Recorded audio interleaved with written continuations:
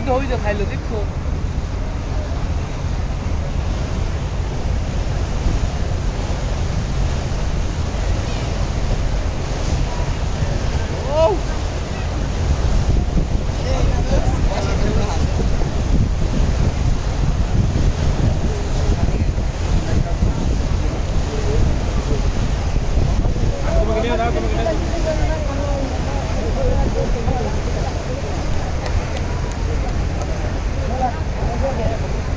để chơi được có hai trăm mà tiếc sườn